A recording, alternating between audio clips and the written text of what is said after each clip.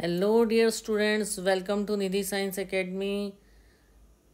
We were studying about mineral nutrition. Mineral nutrition में आज हम पढ़ेंगे टॉक्सिसिटी ऑफ़ माइक्रो न्यूट्रिएंट्स तो टॉक्सिसिटी कैसे हो जाती है माइक्रो न्यूट्रिएंट्स की? जो माइक्रो न्यूट्रिएंट्स हैं हमेशा कम अमाउंट में चाहिए होते हैं। और इनका मॉडरेट भी डिक्रीज हो गया। थोड़ा बहुत भी अगर कम हो गए तो डेफिशिएंसी सिम्टम हो जाते हैं। और मॉडरेट इंक्रीज जो होता है इसका, थोड़े से भी बढ़ जाए तो टॉक्सिसिटी हो जाती है, नुकसान करते हैं प्लांट को। तो एक तरह से नैरो रेंज है जिसमें इस एलिमेंट्स को एक ऑप्टिमम लेवल तक हमारे प्लांट्स में होना चाहिए। जो कोई भी मिनरल आयन कंसनट्रेशन है टिश्यू में, वो रिड्यूस करेगा ड्राई वेट ऑफ़ टिश्यू को बाय टेन परसेंट करीब टेन परसेंट तक टॉक्सिक कर सकता है आयन कंसनट्रेशन से। कोई भी मिनरल आयन कंसनट्रेशन है तो ड्राई वेट ऑफ़ टिश्यू को टेन परसेंट तक कम कर सकता है, उसको टॉक्सिक कर सकता है। तो सबका अलग अलग क्रिटिकल कंसनट्रेशन है डिफरेंट माइक्रोन्यूट्रिएंट्स है। और टॉक्सिक सिम्टम्स जो हैं टॉक्सिसिटी के, बहुत डिफ़िकल्ट हैं आइडेंटिफाई करने। खासकर प्लांट्स में। कई बार होता है एक्सेस है किसी एलिमेंट का तो उसने इनहिबिट कर दिया, दूसरे एलिमेंट का अपटेक को ही इनहिबिट कर दिया। वो दूसरे एलिमेंट को ले ही नहीं पा रहा है एब्जॉर्ब ही नहीं कर पा रहा है। जैसे मैंगनीज टॉक्सिसिटी होती है तो ब्राउन स्पॉट हो जाते हैं क्लोरेटिक वेन्स में, जो कि येलो हो रही होती हैं। तो ये किस कारण होता है? मैग्नीज टॉक्सिसिटी के कारण। और ये भी देखना चाहिए, मैग्नीज किसके साथ कंपटीशन करता है? आयरन और मैग्नीशियम के अपटेस्ट के साथ। With magnesium for binding with enzyme magnesium और आयरन के साथ compete करता है for binding with enzymes manganese calcium translocation को भी इनहिबिट कर देता है। मतलब ये दिखाया है कि एक जो माइक्रोन्यूट्रिएंट है उसकी टॉक्सिसिटी से तो होगा ही ब्राउन स्पॉट्स हो जाएँगे पीलापन आ जाएगा पत्तियों में। पर साथ में दूसरों के भी जो एंजाइम्स के लिए रिस्पॉन्सिबल हैं मैग्नीशियम के साथ जब मैग्नीज मिलता है तो एंजाइम एज ए कैटलिस्ट जो एक्ट करते हैं मेटाबॉलिज्म में प्लांट्स के उनका इनहिबिशन हो जाता है। कैल्शियम जो छूट अपेक्स में होता है उनको भी इनहिबिट कर जाता है। तो दूसरे न्यूट्रिएंट पे भी इस, इसका इफ़ेक्ट पड़ता है। और जब एक्सेस हो जाता है मैग्नीज तो डेफिशिएंसी हो जाती है आयरन, मैग्नीशियम और कैल्शियम की। अगर मैग्नीज बहुत ज़्यादा हो गया तो दूसरे जो एलिमेंट्स हैं, उनकी डेफिशिएंसी हो जाती है। तो क्या होता है, मैग्नीज टॉक्सिटी में मेनली सिम्टम होते हैं, डेफिशिएंसी सिम्टम होते हैं आयरन, मैग्नीज और कैल्शियम का। और एक्सेस मैग्नीज से से भी डेफिशिएंसी हो जाती है आयरन मैग्नीशियम और कैल्शियम की। क्योंकि मैग्नीज compete करता आयरन और मैग्नीशियम का। For binding with enzyme excess हो जाएगा तो वो बाइंड होता जाएगा तो उनका डेफिशिएंसी होती चली जाएगी। ऐसे ही mechanism of absorption of elements कैसे होता है? कि आइसोलेटेड सेल से होता है टिश्यूज से होता है ऑर्गन से होता है। एब्जॉर्प्शन जो होता है एलिमेंट्स का प्लांट्स में सेल से होता है टिश्यूज से होता है ऑर्गन से होता है। ओके okay, तो स्टडी रिवील करती हैं जो प्रोसेस है एब्जॉर्प्शन का ये दो मेन फेजेस में डिवाइड किया गया। फ़र्स्ट फ़ेज़ जो होता है initial rapid uptake of ions होता है। फ्री स्पेस और आउटर स्पेस ऑफ़ सेल में एपोप्लास्ट पैसिव सेकेंड फ़ेज़ होता है इनर स्पेस में सिम्प्लास्ट में। ये हमने पिछले वाले चैप्टर में भी पढ़ा था, इसलिए और इजी हो जाएगा समझना। ठीक है एपोप्लास्ट में होता है रैपिड इनिशियल अपटेक होता है रैपिड सेकेंड फ़ेज़ होता है सिंपलास्ट में। सेकंड जो होता है, वो होता है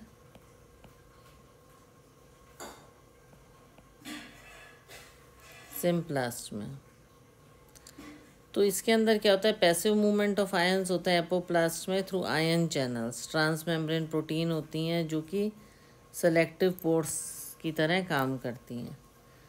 और एग्ज़िट जो होता है, या एंट्री होती है आयन्स की और आयन की सिम्प्लास्ट क्या, के लिए क्या रिक्वायर होता है? Expenditure of metabolic energy which is an active process symplast में मेटाबॉलिज्म के लिए एनर्जी चाहिए तो ये होता है एक्टिव प्रोसेस एपोप्लास्ट में होता है पैसिव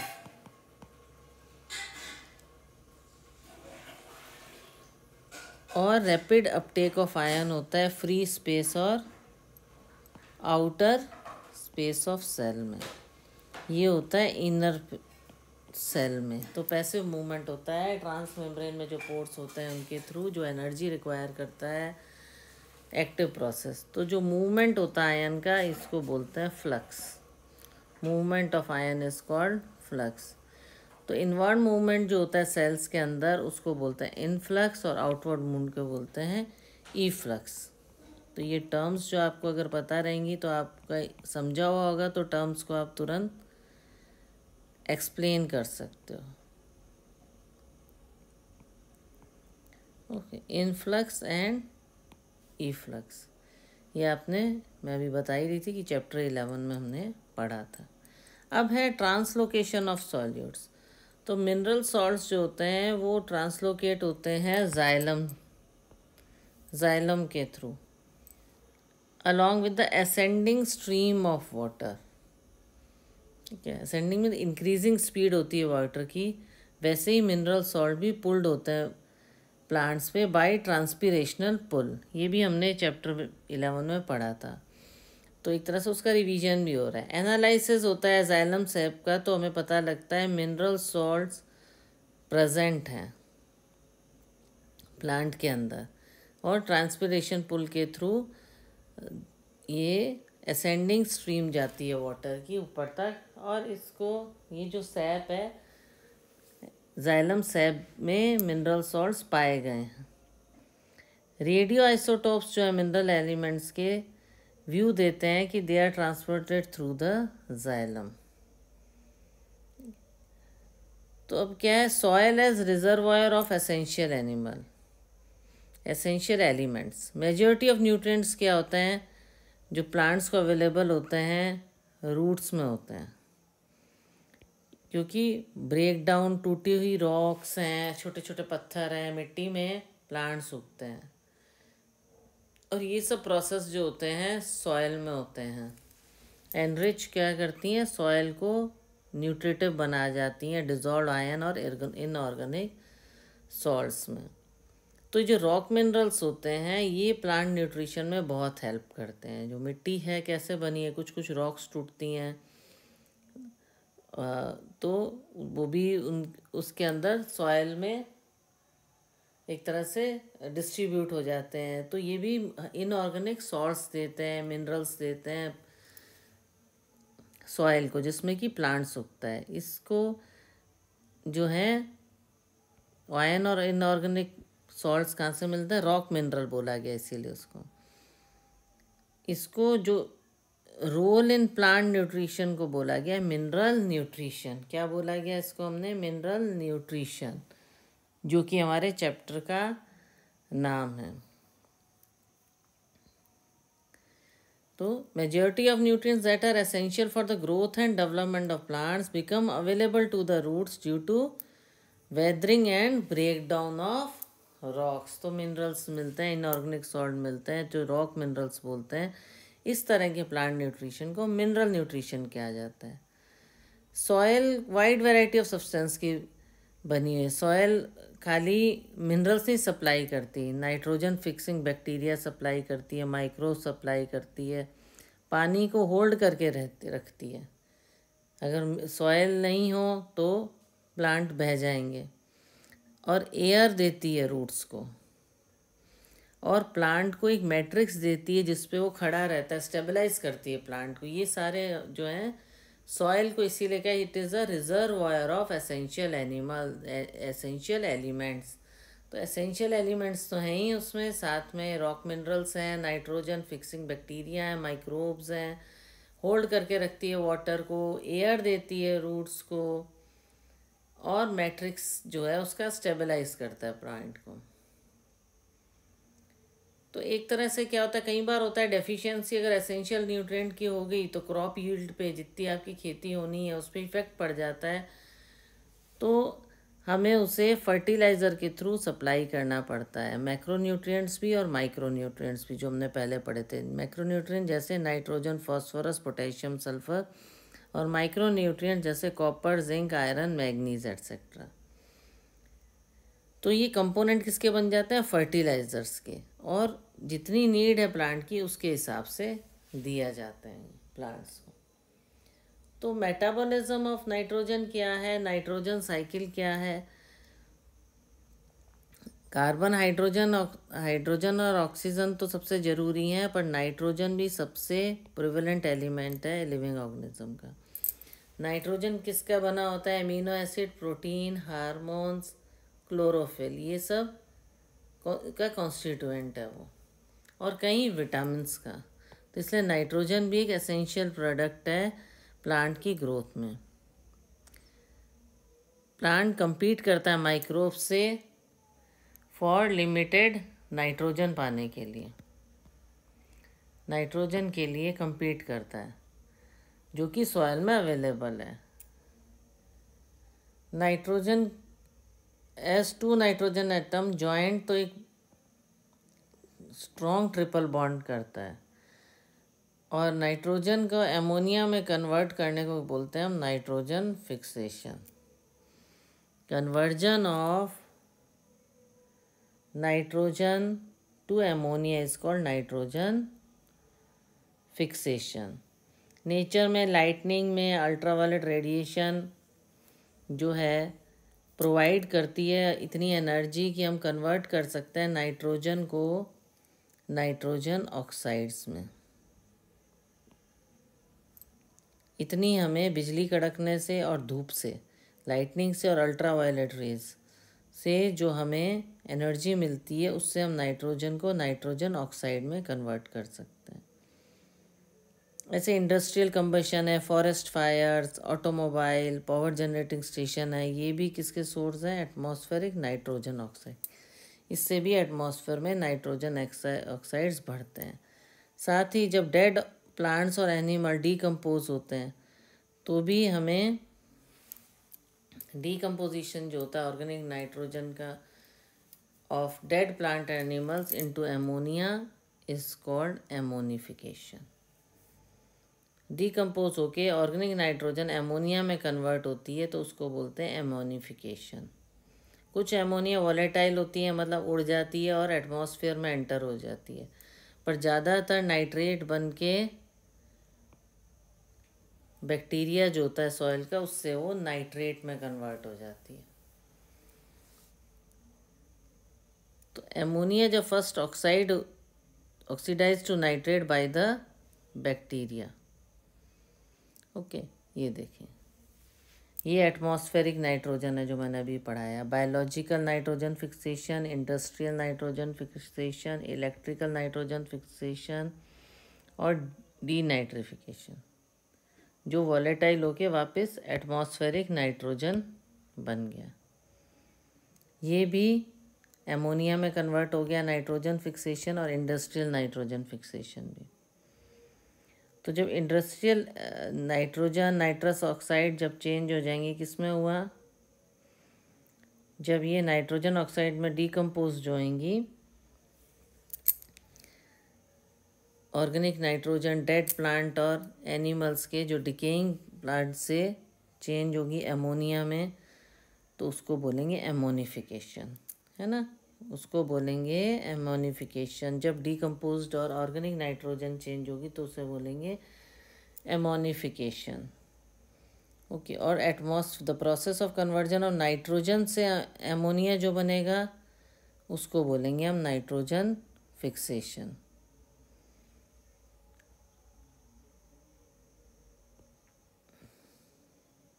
ये देखो process of conversion of nitrogen to ammonia ये अमोनिया में कन्वर्ट हो रहा है, इसको बोलेंगे हम नाइट्रोजन फिक्सेशन ओके और जो इवोपरेट हो गई, उस प्रोसेस को बोलेंगे डी नाइट्रिफिकेशन वापस एटमॉस्फेयर में चली गई, उसको बोलेंगे डी नाइट्रिफिकेशन ओके तो ammonia volatile and reenters the atmosphere ये री एंटर हुई तो उसको क्या बोला? डी नाइट्रिफिकेशन वॉलेटाइल जो हो जाएँगी, उसको बोलेंगे डी नाइट्रिफिकेशन ये देखो, ये अपटेक हुआ, ये प्लांट बायोमास ये एनिमल बायोमास डिकेइंग जो प्रोडक्ट थे, वो उसमें क्या हुआ? एमोनिया वॉलेटाइल हुई और उसके अंदर क्या हुआ? कन्वर्ट इनटू एमोनिया एमोनिया में कन्वर्ट होगी तो उसको बोल दिया हमने एमोनीफिकेशन एमोनीफिकेशन इसमें ये वापस से ये नाइट्रोजन फिक्सेशन हो रही है, पर ये जब दोबारा से एटमॉस्फेयर में चलेगी तो ये हो गया डी नाइट्रिफिकेशन नाइट्रेट्स वापस से चले गए एटमॉस्फेयर में तो ये हो गया डी नाइट्रिफिकेशन ओके एमोनिया पहले ऑक्सीडाइज होती है नाइट्राइट में बाई बैक्टीरिया ये रहा नाइट्रोसोमोनस और नाइट्रोकोकस जो नाइट्रेट है, वो फर्दर ऑक्सीडाइज होता है नाइट्रेट में, जो हेल्प करता है बैक्टीरिया नाइट्रोबैक्टर की। इस स्टेप को कहते हैं नाइट्रिफिकेशन नाइट्रिफिकेशन बैक्टीरिया जो होता है केमोएटोट्रफ बोलते हैं, जिसमें एमोनिया पहले ऑक्सीडाइज होती है नाइट्रेट में और नाइट्राइट जो है ऑक्सीडाइज होता है नाइट्रेट में। ठीक है, ये इसमें स्टेप भी बताए हैं। एमोनिया जो है, पहले ऑक्सीडाइज हुई नाइट्रेट में। ओके पहले नाइट्राइट में। नाइट्रेट में फिर नाइट्रेट जो है, जो नाइट्राइट है, ये नाइट्राइट है, ये एमोनिया और फिर ये जो नाइट्राइट है, वो ऑक्साइड हुआ, ऑक्सीडाइज हुआ नाइट्राइट, ऑक्सीजन की प्रेजेंस में नाइट्रेट में।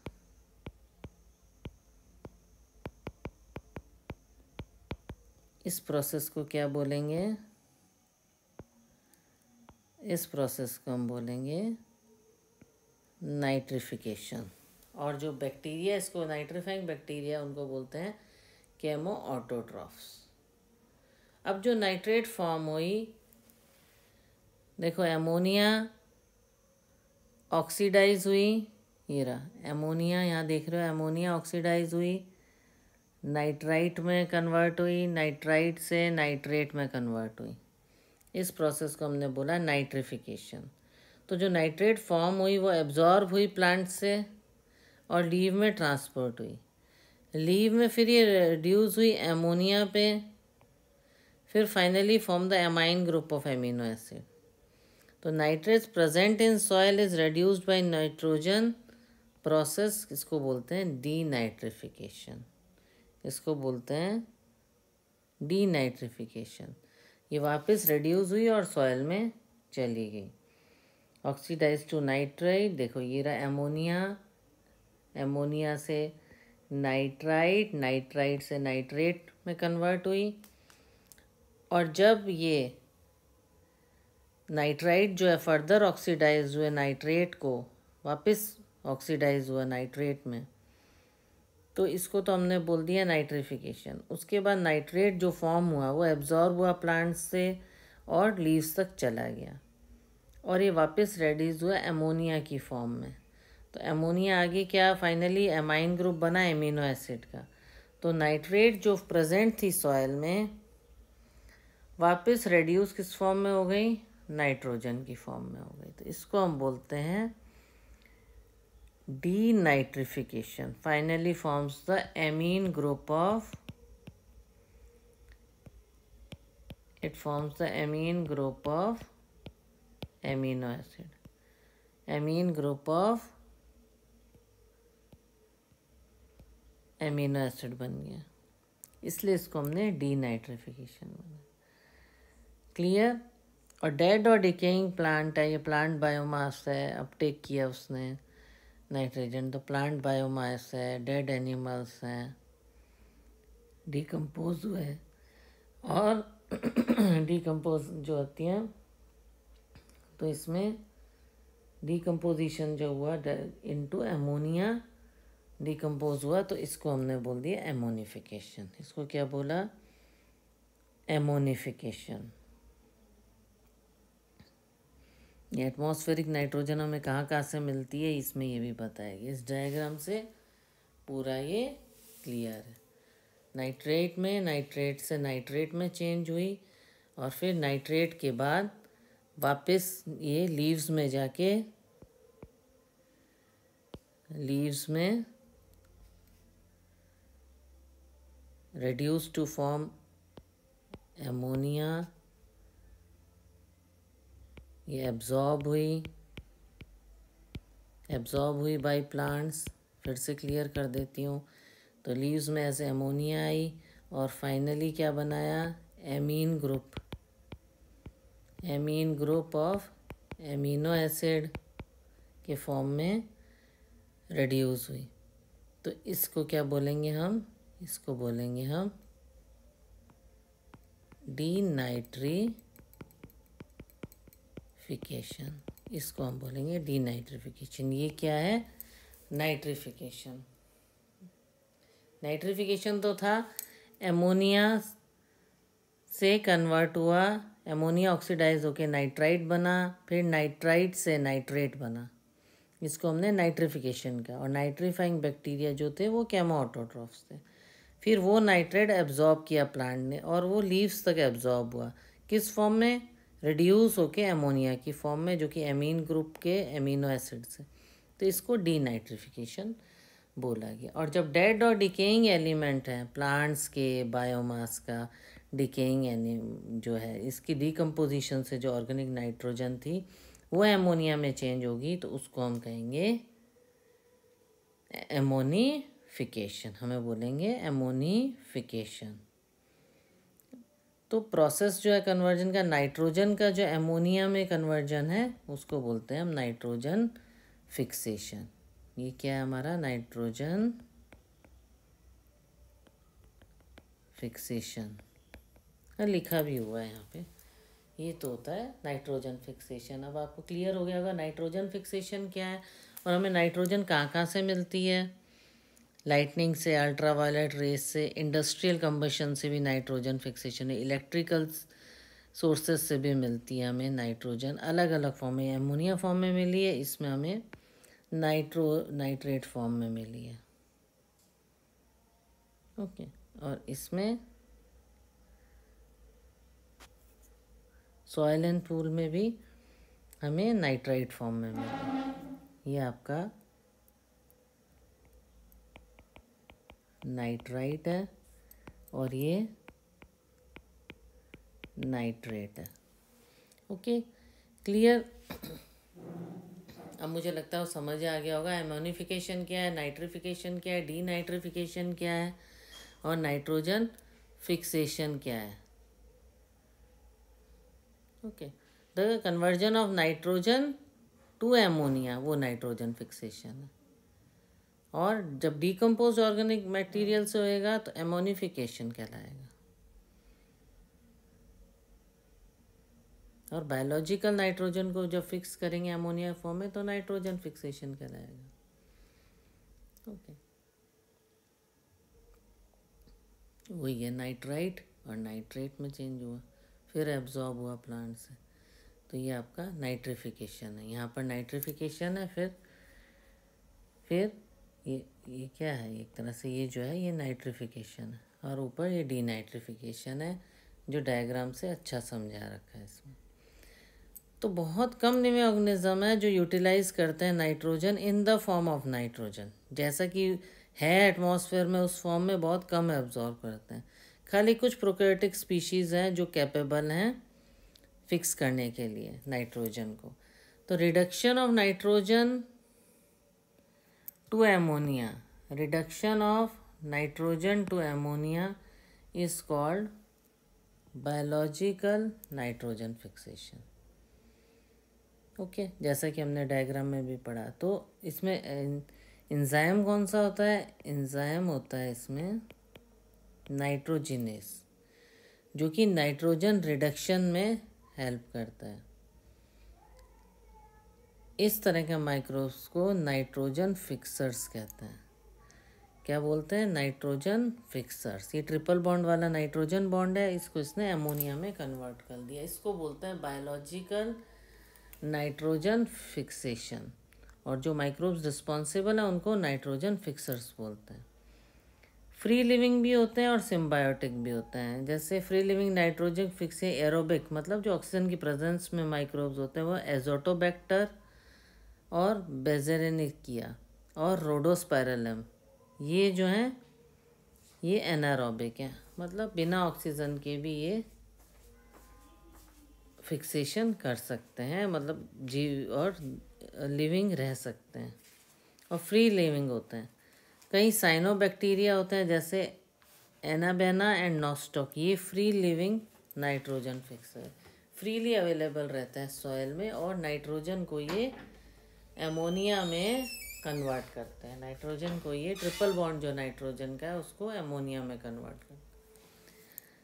अब है सिम्बायोटिक बायोलॉजिकल नाइट्रोजन फिक्सेशन तो सेवरल टाइप है symbiotic biological nitrogen fixing association पता है हमें कई तरह की। प्रोमिनेंट अमंग जिसमें लेग्यूम और बैक्टीरिया का रिलेशनशिप लेग्यूम और बैक्टीरिया की। रॉड शिफ्ट राइजोबियम होते हैं। और सेल सेल्फ कई लेग्यूम्स हैं, जैसे अल्फ़ा alpha, sweet clover, sweet pea, lentils, garden pea, broad bean, clover bean. Roots में, स्पीशीज़ ऑफ़ रॉड शिव राइजोबियम, या किसके साथ रिलेशन है? रूट्स, जो लेग्यूम्स की रूट्स होती हैं, वहाँ पे नाइट्रोजन फिक्सेशन करते हैं। ज़्यादातर रूट नोड्यूल्स में। ये स्मॉल आउटग्रोथ होती है रूट्स की। The microfrankia also produce nitrogen fixing nodules on the roots of non leguminous plant में कौन करता है? फ्रेंकिया ये नॉन लेग्यूमिनस ये लेग्यूमिनस तो राइजोबियम और फ्रेंकिया फ्री लिविंग होते हैं या सिम्बानट्स होते हैं। कैन फिक्स एटमॉस्फेरिक नाइट्रोजन को फिक्स कर देते हैं। कोई भी अप्रूट करो कॉमन जस्ट फ्लावरिंग से पहले किसी भी कॉमन पल्स जो है लेग्यूम्स के साबुत दालें उनको लेग्यूम्स बोला जाता है। तो उसके नीचे आपको छोटी छोटी आउटग्रोथ दिखेंगी रूट नोड्यूल्स दिखेंगे। वो नोड्यूल्स क्या हैं? नोड्यूल्स जो हैं, ये नाइट्रोजन फिक्सेशन हुई है, उस कारण वो नोड्यूल्स हैं। वो नोड्यूल्स शो करती हैं कि बैक्टीरिया का नाइट्रोजन फिक्सेशन यहाँ हुआ है। प्रेजेंस ऑफ़ लेग्यूमिनस हीमोग्लोबिन के कारण ये होता है। रेड भी होता है इस कारण पोर्शन रेड होता है या पिंक होता है। प्रेजेंस ऑफ़ लेग्यूमिनस हीमोग्लोबिन और लेग हीमोग्लोबिन के कारण ये रेड होता है। नोड्यूल फॉर्मेशन होती है, जैसे राजमा हैं, छोले हैं, साबुत जो दालें हैं, उन, उसमें नाइट्रोजन फिक्सेशन होता है। तो नोड्यूल फॉर्मेशन भी सिंपली नहीं होता, इसकी भी मल्टीपल इंटरेक्शन है राइजोबियम में और roots of the host plant और जिस प्लांट में वो आए हैं बैक्टीरिया तो वो होस्ट प्लांट हो गया, जहाँ पे वो एक्टिवेट हैं। तो प्रिंसिपल स्टेजेस क्या हैं नोड्यूल फॉर्मेशन में?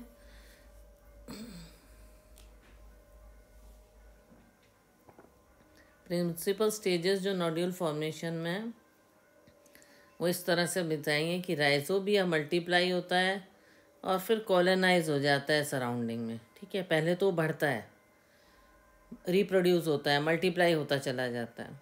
उसके बाद वो क्लस्टर फॉर्म में आ जाता है कॉलोनी ग्रुप्स में आ जाता है रूट्स के सराउंडिंग में। और उसके एपिडर्मल और रूट हेयर सेल्स जो हैं, उसमें जाके अटैच हो जाता है। तो उसमें क्या होता है कि इन्फेक्शन थ्रेड प्रोड्यूस होता है। जो बैक्टीरिया को कॉर्टेक्स में ले जाता है रूट के। वहाँ पे ये कॉर्टेक्स में इनिशिएट करता है nodule formation in the cortex of the root. उसके बाद बैक्टीरिया रिलीज़ हो जाता है थ्रेड से सेल के अंदर, जिसके कारण differentiate specialise nitrogen fixing cell. Differentiation होना शुरू हो जाता है नाइट्रोजन फिक्सिंग सेल का। तो नोड्यूल फॉर्म हो गया, एक डायरेक्ट वास्कुलर कनेक्शन बन गया होस्ट होस्ट के साथ फॉर एक्सचेंज ऑफ़ न्यूट्रिएंट्स और न्योड्यूल जो होता है उसमें बायोकेमिकल कंपोनेंट्स होते हैं, जैसे इंजाइम नाइट्रोजिनेस है लेग हीमोग्लोबिन है। एमओ एफ़ ए प्रोटीन है, ये कैटेलाइज करता है conversion of atmospheric nitrogen to ammonia जो कि फ़र्स्ट स्टेबल प्रोडक्ट है नाइट्रोजन फिक्सेशन का, जो कि फ़र्स्ट स्टेबल प्रोडक्ट है नाइट्रोजन फिक्सेशन का। तो इस तरह से नाइट्रोजन फिक्सेशन होता है नोड्यूल फॉर्मेशन होता है। तो सॉयल फॉर्मेशन होती है इसके अंदर सॉयल पार्टिकल्स में। तो जैसे डेवलपमेंट ऑफ़ नोड्यूल्स जैसे अगर हम सोयाबीन में देखें तो आप मान लो इस तरह से। ओके ये ऐसे।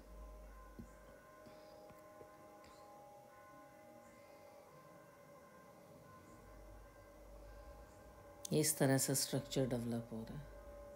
और यहाँ आप समझ लो छोटे छोटे सॉयल पार्टिकल्स हैं ओके ये क्या है? ये सॉयल पार्टिकल्स ये सॉयल पार्टिकल्स हैं। ये हमारे रूट हेयर है। क्लियर और यहाँ पे क्या है? यहाँ पे ये बैक्टीरिया। ओके? ये बैक्टीरिया। तो क्या होता है? Development of root nodule soybean ये राइजोबियम बैक्टीरिया बताया है, जो कि कांटेक्ट में आया रूट हेयर के। ठीक है? सोयाबीन में हम देख रहे हैं। ओके? सोयाबीन में। राइजोबियम बैक्टीरिया जो है कांटेक्ट में आया। तो सक्सेसफुल इन्फेक्शन हुआ रूट हेयर में और वो रूट हेयर कर्ल हो गई। क्या होगा? जो रूट हेयर है, ये फिर से मैं एक बार बना देती हूँ, जो रूट हेयर है, वो इस तरह से रूट हेयर कर्ल होगी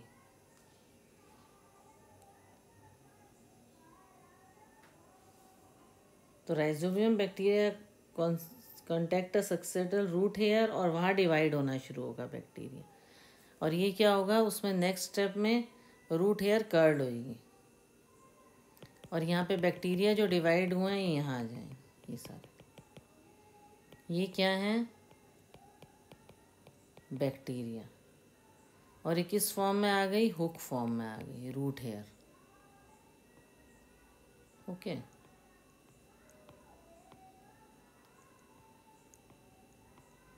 hook form में आ गई। उसके बाद क्या होगा जो इन्फेक्टेड थ्रेड है कंटेनिंग बैक्टीरिया है जो तो वो इनर कॉर्टेक्स में ले जाएगा। इन्फेक्टेड बैक्टीरिया क्या करेगा? इनर कॉर्टेक्स में ले जाएगा थ्रेड को। हम्म, यहाँ से ये देखिए इसी में मैं बताया तो ऐसे करके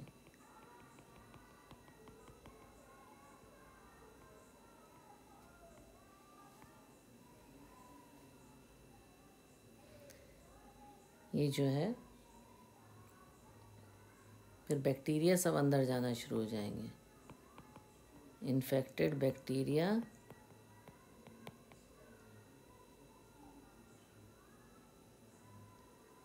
इन्फेक्टेड बैक्टीरिया नहीं एक तरह से इन्फेक्टेड थ्रेड हो जाएगा, है ना? फॉर्मेशन क्या होगा? An infection thread is produced root hair curl and the bacteria invade करेगा रूट हेयर को तो इन्फेक्शन थ्रेड बनेगा। तो जो इन्फेक्टेड थ्रेड है तो उसने बैक्टीरिया ने क्या बनाया? एक इन्फेक्टेड ये जो जा रहा है, ये थ्रेड जो बीच में से जा रहा है, ये इन्फेक्टेड थ्रेड जो है इन्फेक्टेड थ्रेड जो है carries bacteria carries bacteria to cortex वो कॉर्टेक्स तक ले जाएगा बैक्टीरिया को। तो बैक्टीरिया मॉडिफाई हो जाएगा रॉड शेप्ड में बैक्टीरियड्स में। और इनर पेरीसाइकिल को डिवाइड कर देगा। और डिवीज़न और ग्रोथ जो होगा कॉर्टिकल और पेरीसाइकिल का, वो नोड्यूल फॉर्मेशन करेगा। वो क्या करेगा? नोड्यूल फॉर्मेशन कर देगा।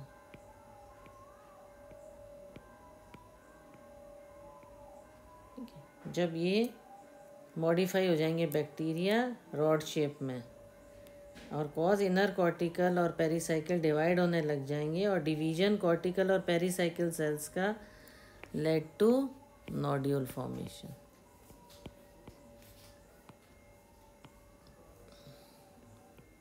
okay तो इस तरह से नोड्यूल फॉर्मेशन होती है। आई होप आप सबको क्लियर हुआ होगा।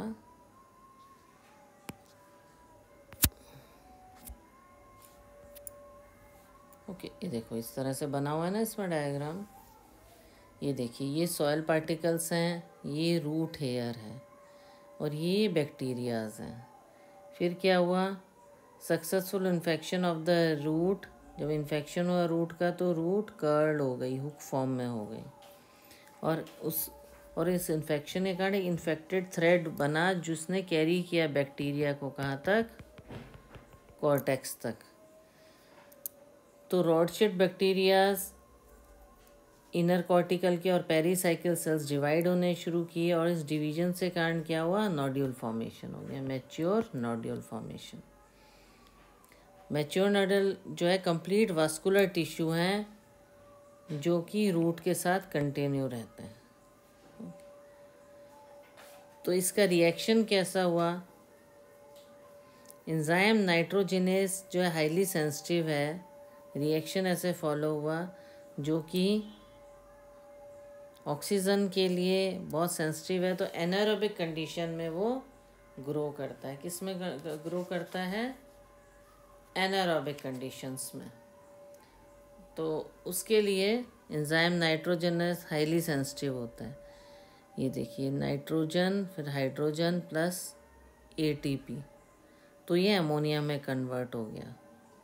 इंजाइम इज़ प्रोटेक्टेड नोड्यूल्स के एडेप्टेशन ऐसे हैं कि इंजाइम प्रोटेक्ट रहता है ऑक्सीजन से। तो इन एंजाइम्स को protect nodule contain oxygen scavenger oxygen को हटाने वाले, मारने वाले स्केवेंजर है leg haemoglobin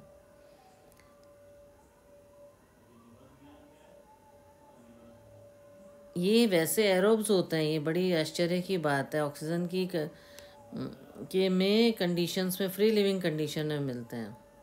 but nitrogen fixation के टाइम ये एनोरोबिक हो जाता है। तो नाइट्रोजनस एंजाइम को ये प्रोटेक्ट कर देंगे। नाइट्रोजनस एंजाइम क्या है? हाईली सेंसिटिव है ऑक्सीजन के लिए। तो ऑक्सीजन स्केवेंजर होता है नोड्यूल में, जिसको बोलते हैं लेग हीमोग्लोबिन जो ये ख़त्म कर देता है। ऑक्सीजन को। तो you must have noticed in the above reaction that the ammonia synthesis by nitrogenase require a क्या रिक्वायर कर रहा है ये? ये रिक्वायर कर रहा है एटीपी और hydrogen high input of energy eight P T eight A P चाहिए, इसे हर एमोनिया के लिए एट ए टी पी चाहिए।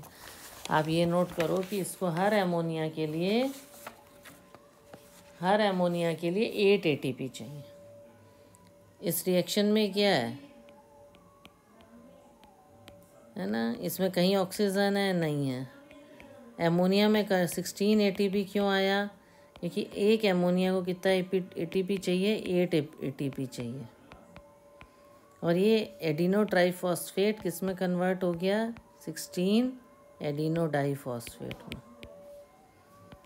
ओके तो क्लियर कि इसलिए नाइट्रोजन फिक्सेशन के लिए नाइट्रोजन फिक्सेशन के लिए, और नाइट्रोजनेस जो है इंजाइम नाइट्रोजनेस जो है, उसको ऑक्सीजन नहीं चाहिए एनारोबिक कंडीशंस में चाहिए।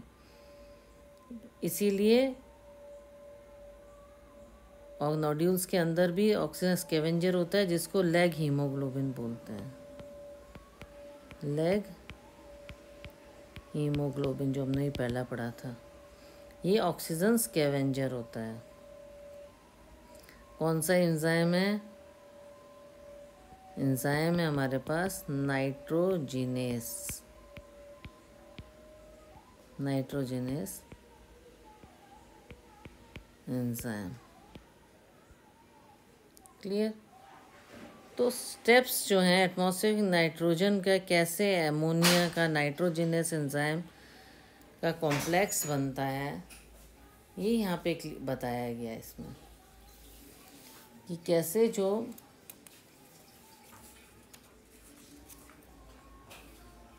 स्टेप्स जो हैं कन्वर्जन होता है, जिसमें एटमॉस्फेरिक नाइट्रोजन का एटमॉस्फेरिक नाइट्रोजन का कन्वर्जन होता है एमोनिया में।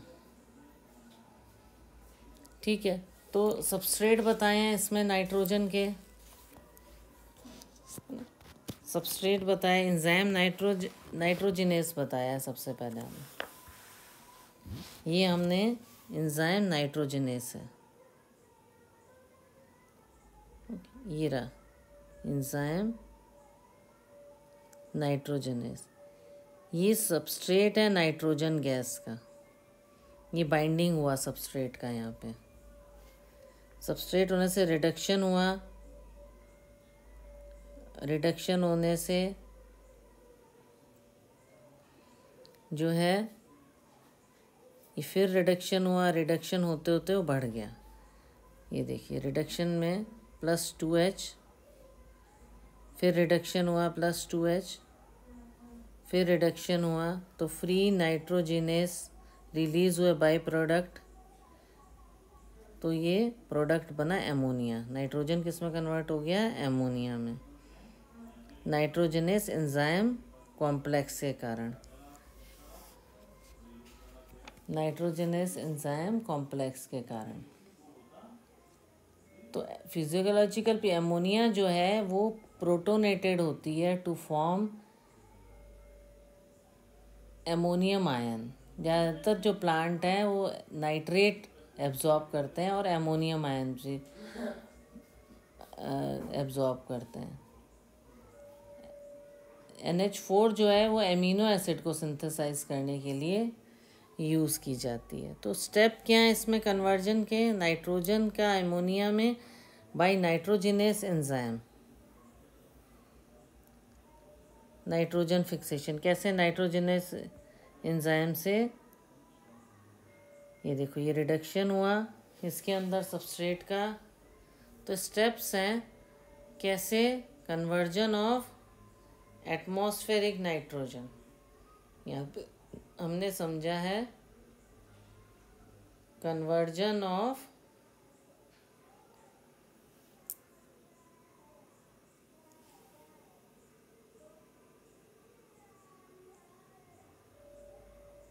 एटमॉस्फेरिक नाइट्रोजन को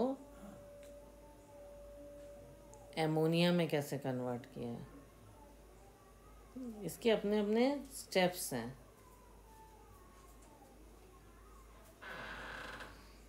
तो नाइट्रिफिकेशन में एंजाइम्स जो है, वो है वो है हमारे पास नाइट्रोजिनेस एंजाइम वो रिडक्शन से आपका उसमें चेंज होता जाता है। रिडक्शन के कारण नाइट्रोजन किसमें एमोनिया में चेंज हो जाता है। तो इस कन्वर्जन में इंजाइम्स इंजाइम कौन सा है? इंजाइम हमारे पास है नाइट्रोजिनेस इंजाइम इंजाइम हमारे पास कौन सा है? इसको अच्छे से लर्न कर लो। Nitrogenase enzyme nitrogenase enzyme होता है। ये कैटेलाइज करता है ATP dependent reduction of dinitrogen को एमोनिया में कन्वर्ट करता है। इंजाइम नाइट्रोजिनेस जो होता है।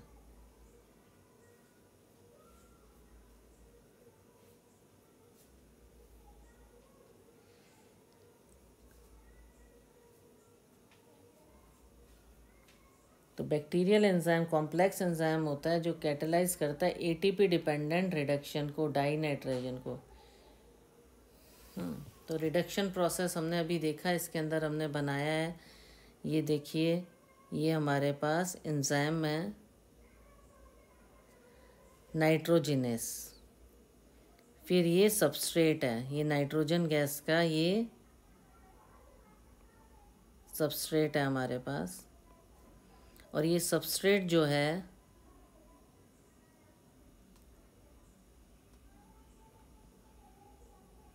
ये सबस्ट्रेट जो है यहाँ आके बाइंड हो गया इसके साथ। ये दोनों नाइट्रोजन है। एक मिनट इसको मैं और क्लियरली आपको बताती हूँ।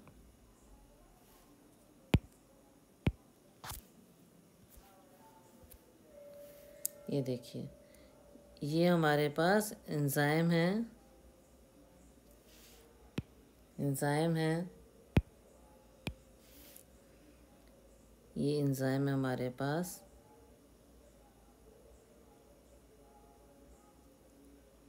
नाइट्रोजिनस। और यहाँ पर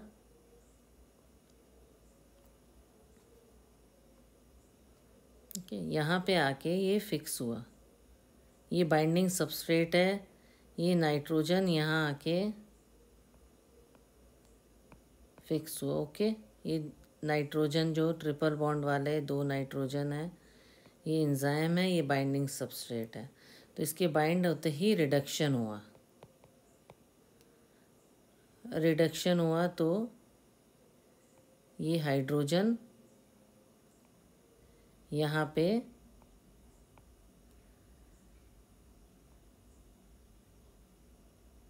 अटैच हो गया, ये हाइड्रोजन, ओके? उसके बाद फिर रिडक्शन हुआ, फर्दर रिडक्शन से क्या हुआ? ये देखो।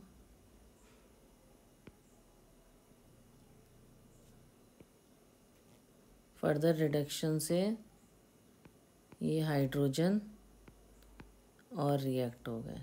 फिर फिर फर्दर रिडक्शन हुआ। तो free nitrogen bind another molecule of nitro free जब होएगा तो अनदर को भी रिड्यूस कर तो ये यहाँ पे सिक्स अटैच हो गए। क्या हो गए?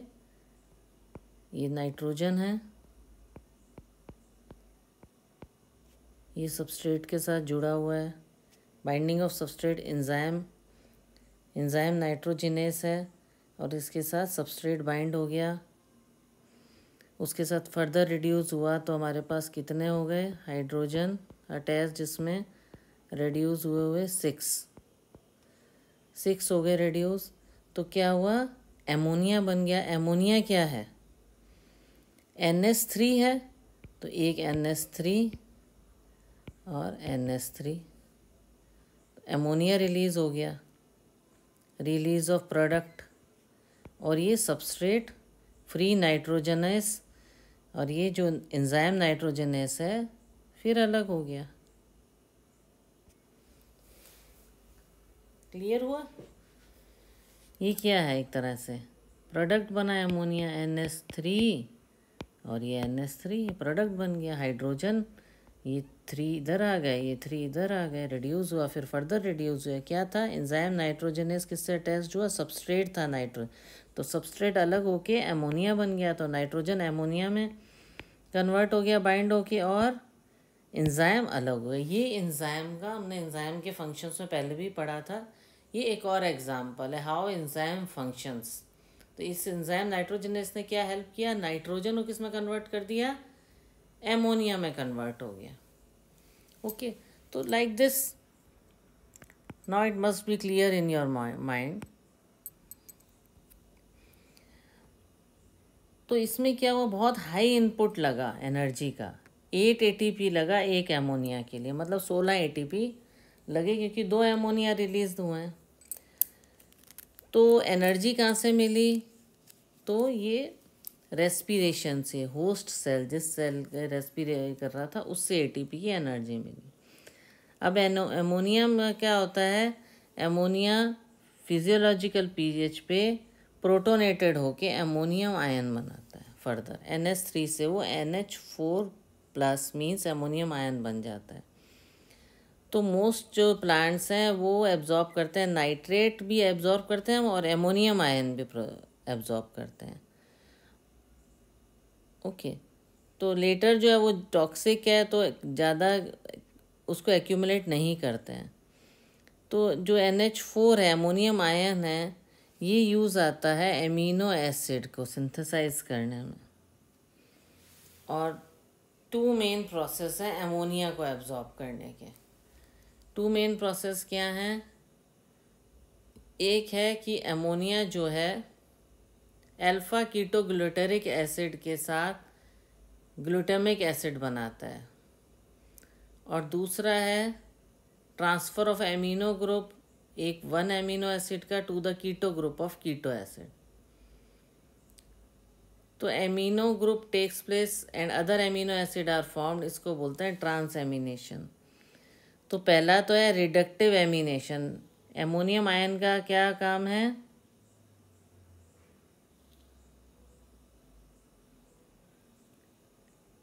सिंथेसाइज एमिनो एसिड सिंथेसाइज कैसे करेगा?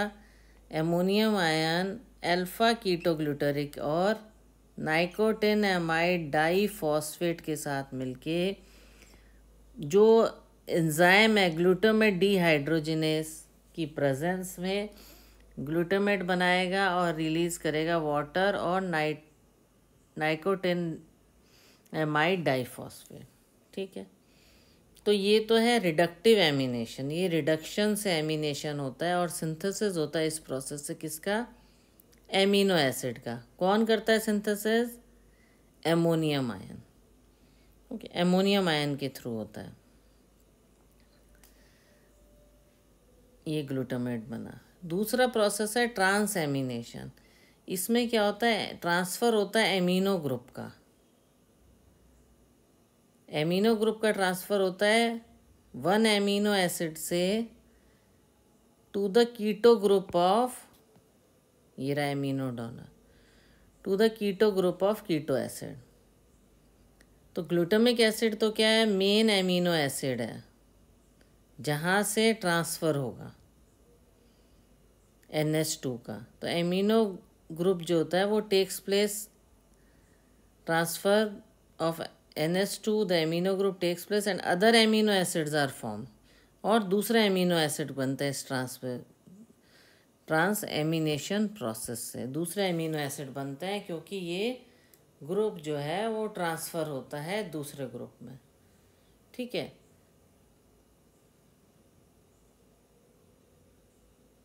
ट्रांसफ़र होने से दूसरे एमिनो एसिड बनते हैं।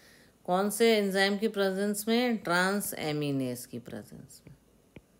ट्रांस एमिनेस की प्रेजेंस में, जो कि कैटेलाइज करता है रिएक्शन को। तो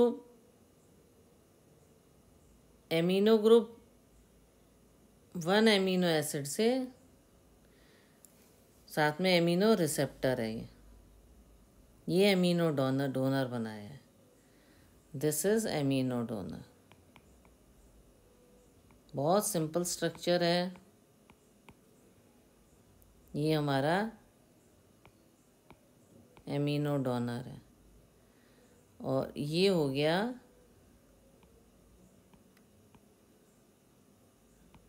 एमिनो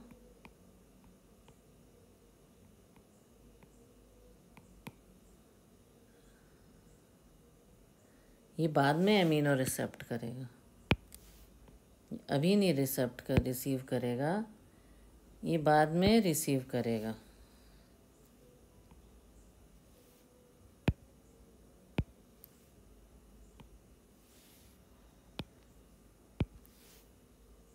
ये देखो, ये रहा आपका एमिनो रिसेप्टर ओके, ये है एमिनो डोनर तो उसके बाद क्या हुआ? जैसा कि हम देख रहे हैं, पर इसको समझाने के लिए मैं दोबारा बना रही हूँ। तो ये आर वन ओके और ये इसकी प्रेजेंस में दूसरा एमिनो रिसेप्टर बनेगा। एमिनो डोनर है या एमिनो रिसेप्टर है? अब ये एक दूसरा एमिनो एसिड बन गया। जो ग्रुप है, वो यहाँ ट्रांसफ़र हो गया।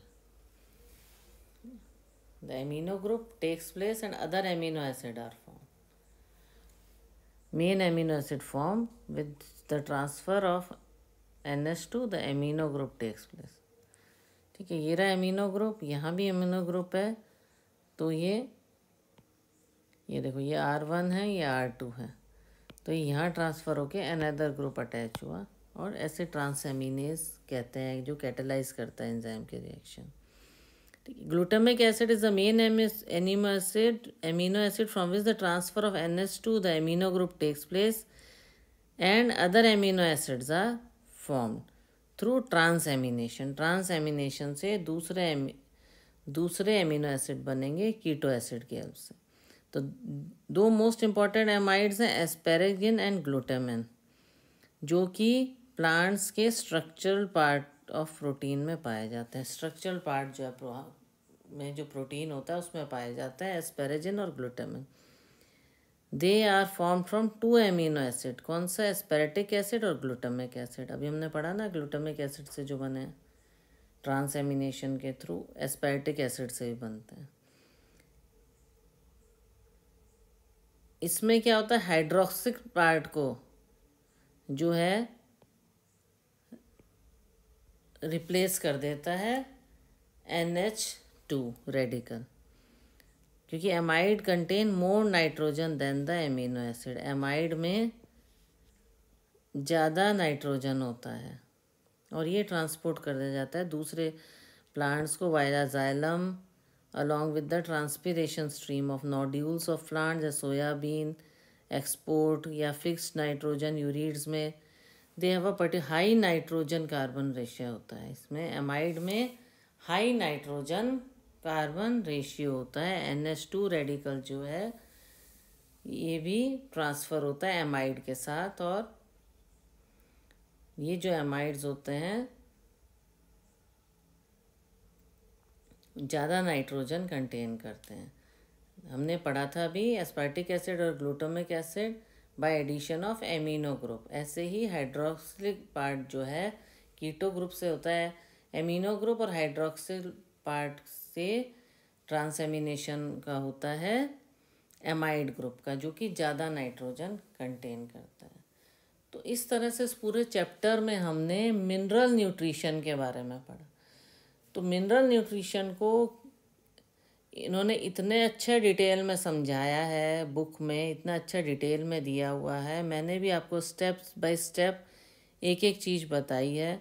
आई होप आपको सब क्लियर हो गया होगा, क्योंकि बुक में जो भी है, उसको अच्छे से क्लियरली ग्रेस्प करना और समझना बहुत ज़रूरी है। आई होप आपको मेरा पढ़ाना पसंद आ रहा होगा। तो आप वीडियो को लाइक करें शेयर करें और चैनल को सब्सक्राइब करें। Okay thank you